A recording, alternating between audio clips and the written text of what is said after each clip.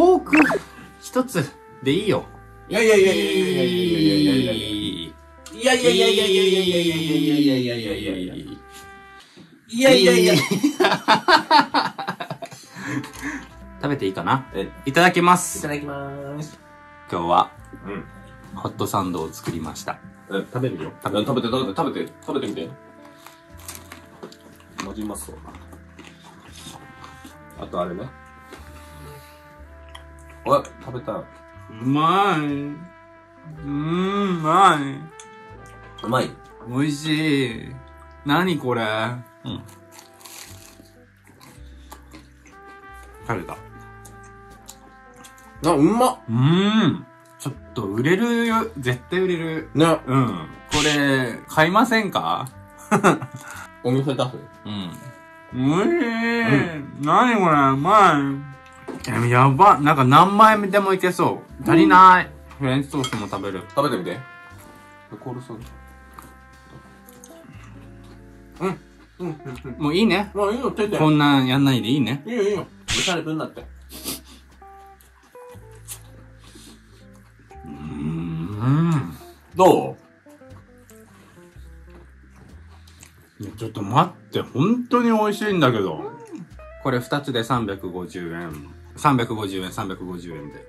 やろう販売価格う。うん。いける？原価とか考えて。どう？ちょ、安い。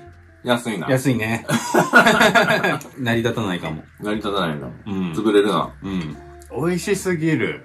だから、やばいね。うんそう、なんかさ、外で食べるのももちろん美味しいんだけど、うんうんうんうん家で作るのはうん確実に美味しいって分かってるから、うんうん家が美味しいなって思っちゃうね。あ家で食べるのはね。うん。味わかるもんね自分で作るからね。そうなのよ。まあでも、とは言ってもさ、うん。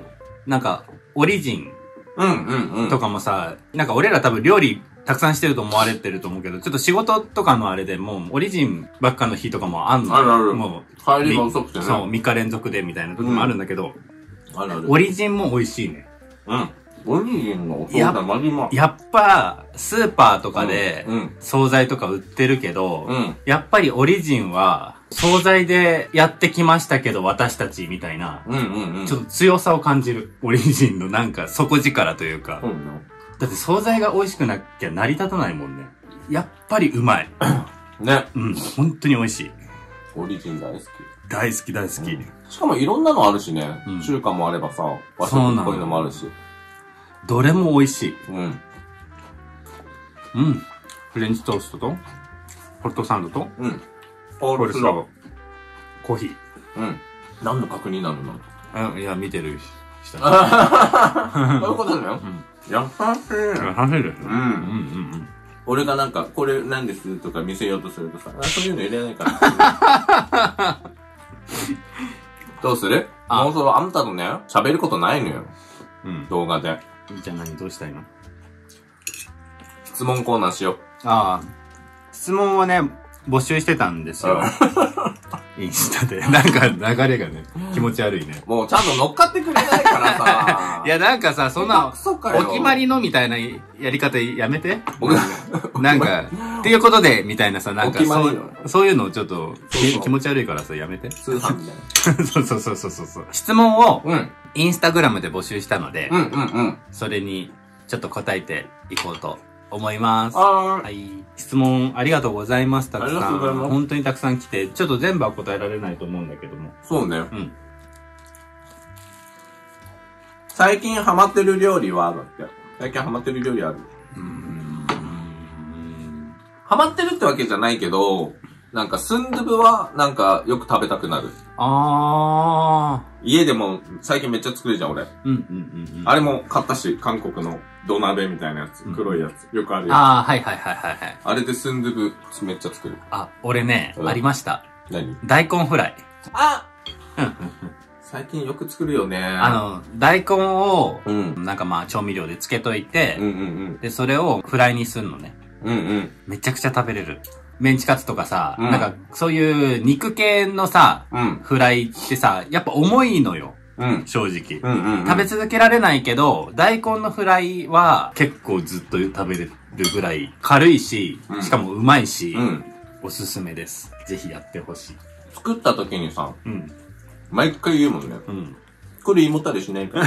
いや、本当に胃もたれしないのよ。次の人が全然。だ大根がこんなに美味しいと思わなかった。うん。ポテンシャル秘めてたね。うん。大根ちょっと。俺はそこまでハマってないけどね。ほそうじゃん。だって、翔ちゃん作ってくれた時さ、うんほぼ翔ちゃんがもう食べてるよ。まあでも翔ちゃんはハマってるってことよね。うんうんじゃあ次、仲良しですか？だって。どうだろうね。う。どう見えてるんだろう。仲良しそうに見える？まあ仲いいよね。うんちょっと見てる方にうん決めてもらいます。うんうん。めっちゃ喧嘩はするけど、くだらないことで。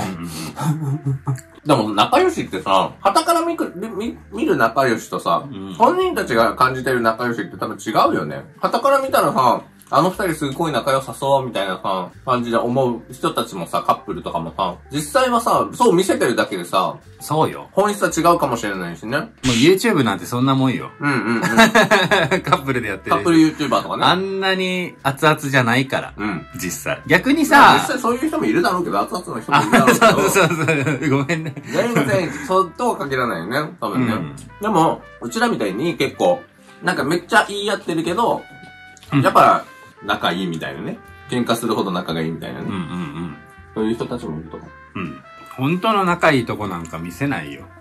ね。なんか、ちょっと面白いなって思ったのは、うんうんうん。お互い以外に、うんいいなこの人と心が動くことはありますか？って質問なんだけど、うんうんうん。例えばさ、うんまあ、それこそテレビのドラマとか、まうんあ映画とかも見て、あ、この人かっこいいなとかうん。はあるじゃない。あるある。で、それはまあ心まあ動いてる、うん。じゃあ動いてるし、例えば素敵な人に会った時に、うん。うん。すごい紳士的だったとか、それも心が動いてる。けど、うんうんうん。だから多分この方が聞きたいのはそうじゃなくて恋愛的な感情でこの人めちゃくちゃ好き、もう付き合いたいっていうレベルの話よね、きっとね。まあまあ、うん。だから、そういう意味では、ないかな。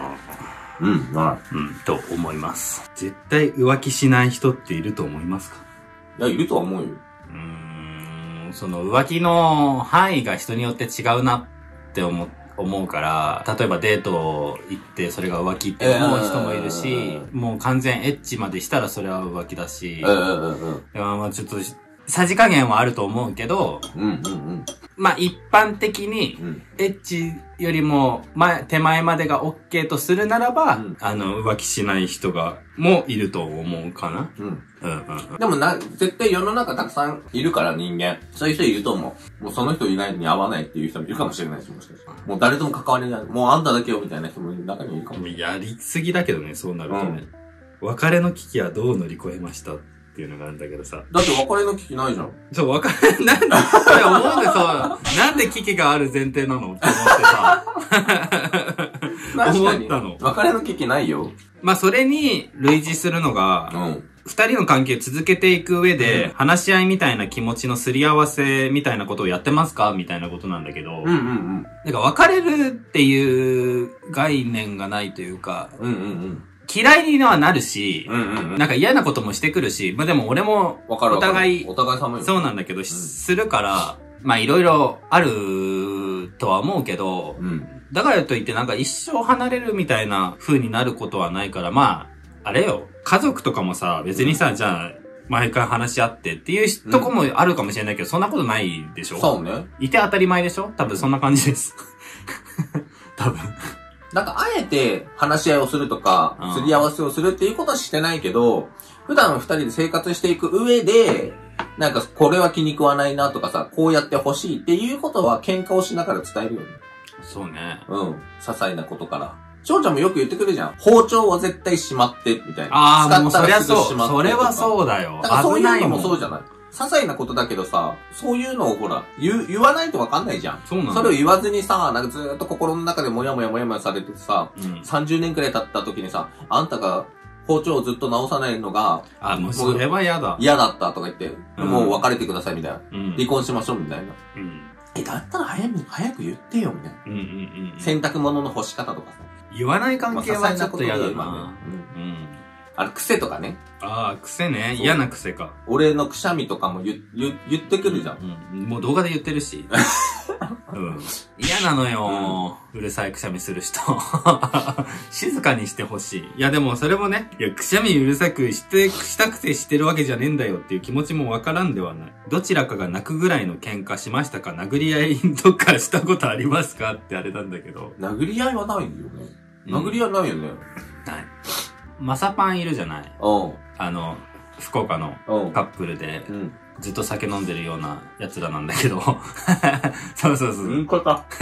いいじゃん。だって言える関係なんだから。うんうんうんで、その二人の話をちょろっと聞くと、うん。うん。あ、結構激しい喧嘩してるんだなっていうのは思ってて、うんうんうん。やっぱ、年が近いと、うん。そうなりやすいかなって思うの。それはね。若いしねうん。若いし若いしね。うん。でもなんか俺らはもう、もう12歳離れてるから、うん。俺も彼に対して、ああ、あの、大人な対応しやがって、みたいなうんうんうん。とこ思うし、逆に、まあ、子供だから仕方ないな、みたいに思われてるかもしれないから、激しくはならない。うん。うん。うんうんそうね。うん。うんうん。でも、翔ちゃんが泣くことはあるよ。喧嘩してて。悔し泣きみたいな。分かってくれないみたいな。あなんで分かってくれないのっていう嘘泣きをする。ー でも泣いてないです。泣くほどの喧嘩では、うんはしたことないかな。お二人の将来の目標はありますか？うんうんうん。ありますか？あ、二人のって、二人の？うん。それぞれ？どっちでもいいよ。いや、どっちでもよくないんだけど、今質問、ね、いただいてて、ちょっとそういうあれは良くないかもしれないんだけど。なんかある？目標。目標ね。なんか、うん。え、明日を生きることじゃない？それ何？明日をうん。生きるために今日何をするかみたいなこと？うん。こその今年さ、親が死にそうだったじゃない？あ、うん、あ、俺俺がね。俺の親がね。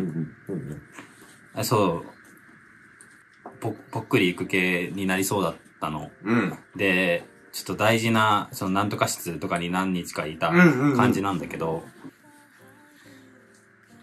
で、なんか、その時に、うん。親とす俺数年間しか一緒にいてないんですよ。うん。で、それでも本当にどうしようもない親なんですね。子供とコミュニケーション取れなかったりとか、そういう親だったんですけど、うんうんで、いざ死、死の、死にそうになった時に、うん。なんか辛いこととか思い出すのかなって思ったの。うん。でもそうじゃなくて、うんなんか、ちょっとだけだけど、もうさ楽しいことの方が思い出し、されるのよ。うん。で、俺はちょっと親のこと苦手だなって思ってたけど、結局、なんかいい思い出とか思い出しちゃうからさ。なんかね。うんまあ今年は多分、まあ明けましておめでとうがね、言え言えそうな感じ言えそうな感じだから。ね、よかったよいいんだけどね。うん。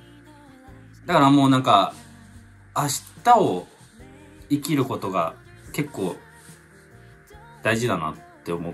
うん。だうん。だ別になんかすごいでかい目標ではないけど、今日の夜ご飯、ご飯を3人で食べるとか、うん。もち丸をちゃんとなんか楽しくさせようとか、うん。そういう風に思うようになったかな。うん。う。うんうんん。それが、あの、目標です、俺の。ああ、うんいいと思う。うん。そうね。いざなんか、そういう、もし、ね、うん。交通事故に遭うとかさ、なんか事件に遭うとかさ。ってなった時に、うんあ、悔いのない人生だったなって思えるのが一番いいよね。そうだね。それまでが短かったとしてもね。うんうん。大事だと思う。うん